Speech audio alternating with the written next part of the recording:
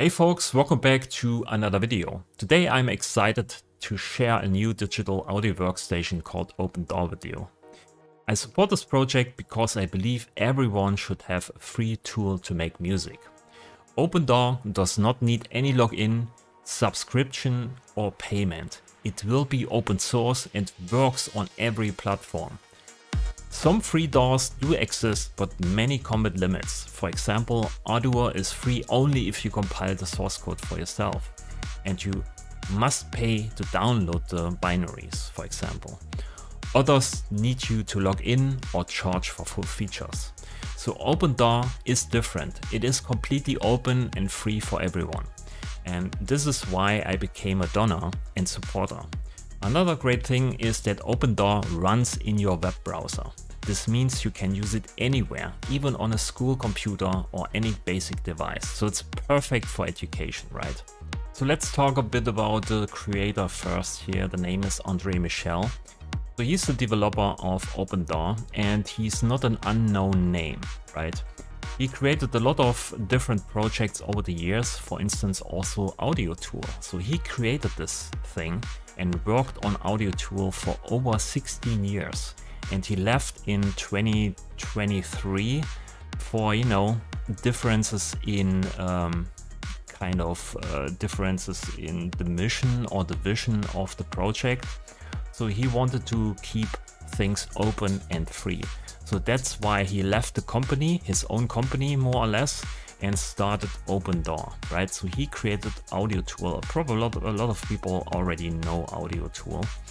Um, then he also has some, he has some, a lot of experiences in web development also here with uh, wave editing in the browser and uh, creating virtual instruments in the browser also sound um, design or sound experiments and also here some modular environments also in the browser. So he has a lot of knowledge um, collected over the years with creating uh, such projects. So that's probably important to know for you. And that's also why I became a supporter and kind of involved in the project because I saw when we talked about everything um, that we have or share the same vision, the same ideas, and we have the same values, right? So I believe music should be open and not just about making money. I knew from the start that I wanted to be involved and what you see with OpenDAW today is only a first version. It's a prototype that shows what is coming next. Think of it as a small taste of what will be and an invitation to support the project. OpenDAW is made for everyone from beginners to experts to enjoy making music without high costs or limits. If you want to join this journey and support the project, now is a great time to get involved. There is currently a prototype party running in the Discord. You can also go to the project. You can try out the prototype for yourself. I show you here in a minute how it works. So the first thing you want to do is to join the Discord of OpenDAW because there's currently an OpenDAW prototype party running. Currently, as of now, and you can join, you can ask questions. There's a prototype tour and there's a future outlook and a hangout later on. I'm probably also joining. So Discord, the link is in the description below. Just make sure you join it, right? Because we need feedback, we need ideas, we need testing and so on. It's pretty important. Um, then I want to show you here uh, the URL. It's opendaw.studio and you can just open up the DAW inside of your browser and you probably want to use Chrome. Make sure you have the latest version, go to help um, and then make sure here everything is up to date. Um, that's pretty important. Um, then this is how it looks like. That's the dashboard. You can also increase the scaling. You can use control and plus to scale it up or minus to make it smaller, right? Um, then you can open up here certain projects. So Sunset is one of my projects. Here Breeze is one of my projects. Shafted is one of my projects. Also Seek Deeper is one of my projects. So you can open up this uh, thing here if you don't want to create something from scratch. So let's open up this one here.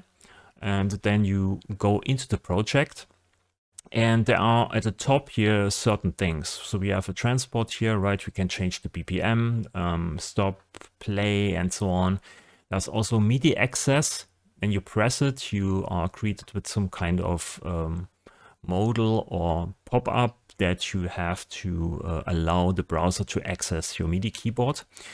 Um, at the moment, you can't record. Um, as I said, it's just very basic functionalities. It's not much in there. Um, then on the left side, you have, a, you have a browser. You can open up the browser by double clicking here, this menu button, or just use B on the keyboard.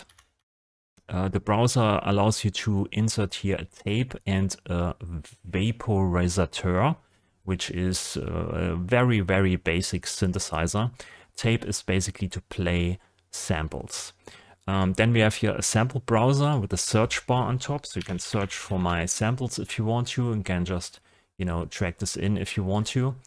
Um, so this is the browser, very basic. Then we have here the timeline. Then we have an editor. So you can double click here, for instance, on this note clip and you can see uh, the notes in there. You can scale it or zoom in or zoom out. You can make this clip longer, right? Um, so when you have this at this position, you can see it, then it's looping, and then you can, um, yeah, clone uh, the pattern in here. You can also move down with the cursor. You can see here the cursor is changing slightly, which means you make um, the clip size bigger. Um, it makes sense if when you play around with it. Uh, maybe also increase the scaling a bit. The editor you can also close down by double clicking here this small little icon or use E on the keyboard. Also devices here, you can choose D, make this smaller. And then you have full kind of view of the timeline here. You can also zoom in and uh, scroll around. Then we have here something like a, a mixer section. So when I hit play, so this is the master fader here. We can also rename already here these kind of uh, tracks or channels.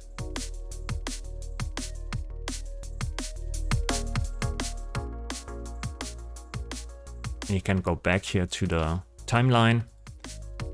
Increased contrast is possible. We have here metronome. We can change the, the BPM.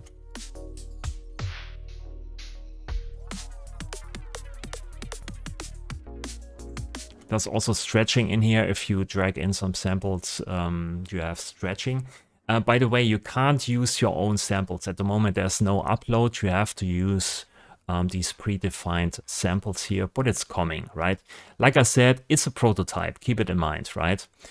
Um, so yeah, the mixing section here is already in place. We have a modular section because if you have opened up here the devices panel and you go, for instance, here to this um, synthesizer here, we can insert here a new MIDI effect or audio effect. It's a bit different than in Bitwig. You have to choose basically here this device and then you can add an audio effect after this device or a MIDI effect in front. So you can add here an arpeggiator, you can delete this, or you can use an audio effect. At the moment, there are only three audio effects, or actually two, delay and reverb, so it's not much. Uh, uh, uh three, and uh, sorry, it's an EQ. We can also add here an EQ. So um, yeah, delay, reverb and EQ. Then there's here a new modular audio effect that's also in the works currently. You can add it and it looks like this. We can also create your already in delay, mm, connect these inputs and outputs. So it's already there, but it's not, you know, it needs a lot of work. It's just one developer. Um, it's in prototype state, like I said. Um, you can also remove this so yeah, there's also a modular system coming like the grid in Bitwig Studio, everything in the browser. It's pretty dope actually. Um, you can also see here this works pretty flawlessly and pretty clean. Um, let me open up here um, this again. So let's say we have here the bass, right? We can, I'm already modulating this here.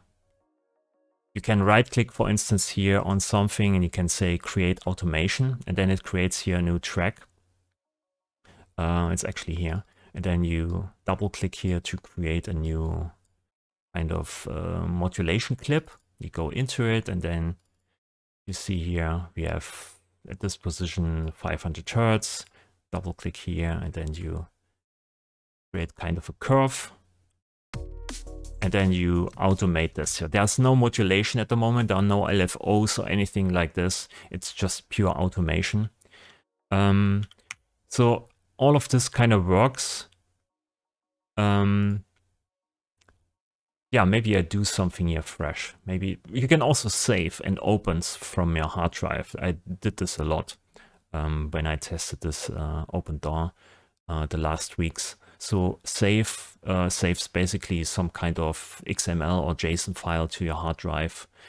And by the way, this is, yeah, like I said in the beginning of the intro, it's not like you have a login or an account or anything like this. It's just you download JavaScript and then you execute this application locally on your PC.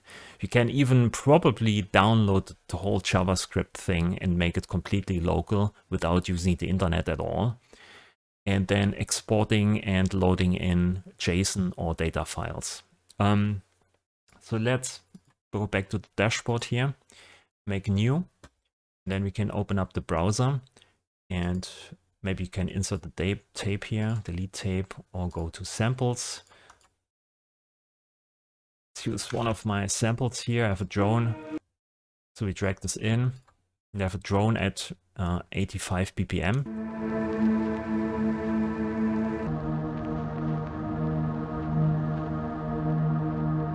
That's probably a half time here. So we can go down here and drag it here. So it's pitched up. So it's a, it's a stretching already in place.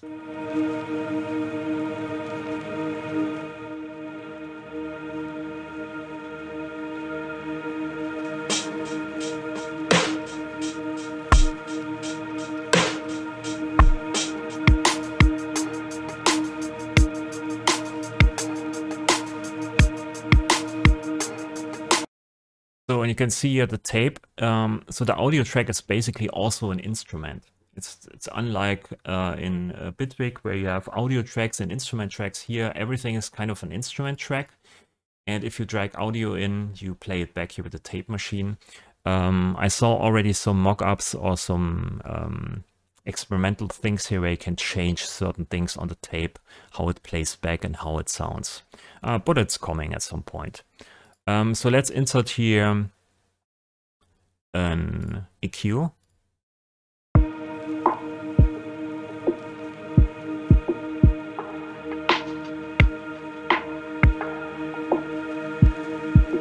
So let's right click and say create automation clip. So we have an automation here.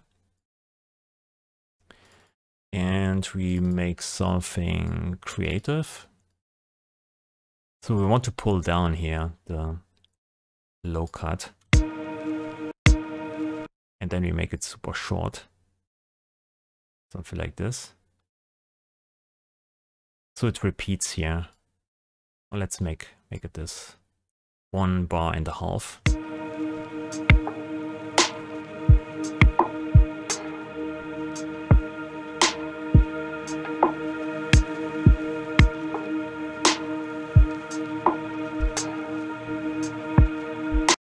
Right, so you can be kind of creative with this.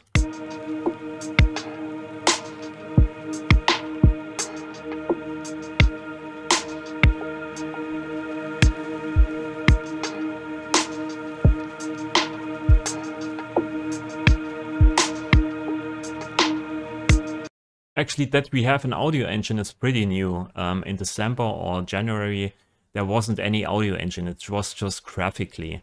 So we added this in one month, so we have something to show off um, for this prototype party. So this is pretty fresh, pretty early. It's not like something you want to use to make music at the moment, but it's coming, right? It's just so for you, you can play around it, get a taste of how it feels like and how it looks like, okay? Um, yeah, please make sure you join the Discord. Um, the prototype party and ask some questions and maybe you are interested. So maybe support the project. Um, yeah, that's basically it. I want to show you this. Um, it's a nice project I really like and I support. And um, leave a like if you like the video. Ask me questions in the comments. I don't know. See you next time. Thanks for watching and bye.